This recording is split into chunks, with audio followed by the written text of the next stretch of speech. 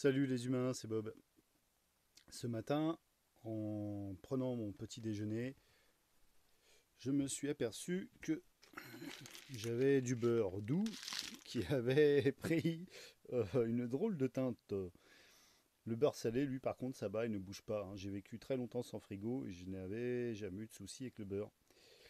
Euh, Celui-ci, je suppose que je ne vais pas le consommer tel quel. Donc, à moins de faire du thé au beurre euh, façon tibétaine au beurre rance. Bon, c'est pas du yak, mais on fera quand même.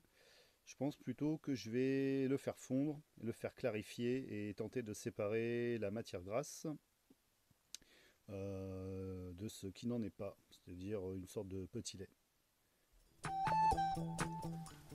Tout a fondu, la matière orangée a coulé au fond.